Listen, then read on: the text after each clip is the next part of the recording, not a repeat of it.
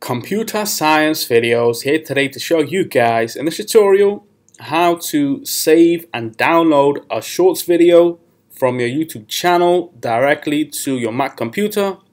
Without further ado, let us start the video. So in this tutorial, you need to have access to a Mac computer as well as an account for YouTube and a shorts video that you may have posted to the account. We can now start the tutorial before I start this tutorial, I would like to say that you are more than welcome to subscribe to my channel, Computer Science Videos. As we know, every problem is solved by indirection. You can also follow my Twitter account. We are trying to grow as fast as ever. I'm on TikTok. We post videos here and there. Follow my page on Facebook. I'm also on Instagram you are more than welcome to support me on PayPal. Let's now focus on the video. So now let's go down to the dock, go to the web browser, which is Safari in this case. Click on this, wait for that to load. Now let's go to YouTube Studio via a shortcut from the bookmarks tab.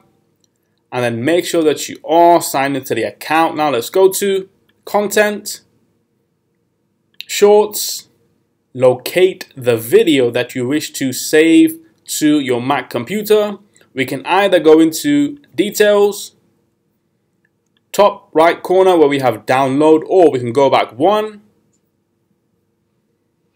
three dots right corner of the video and then click on download. This will download directly to the computer. You should receive a prompt depending on the settings of your Mac. Let's now save this directly to the desktop. And there we have the video. If I was to let's just say minimize Safari, we have that video that was uploaded in 4K compressed to maybe 720 or 480p. And there we go. So we can now quit QuickTime Player.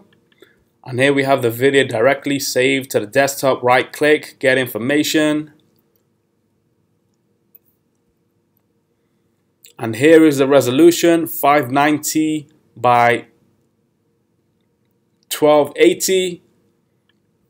Quit that, go all the way down to the dock, go back to YouTube, Safari, quit. And so that's it for this video. I'll see you guys in my next tutorial. Thanks for now. Thank you for making it towards the end of the video. Be sure to subscribe to my channel, Computer Science Videos. Be sure to check out the previous video on screen now or you can ideally click on the playlist and watch all the journey for computer science videos from the start until now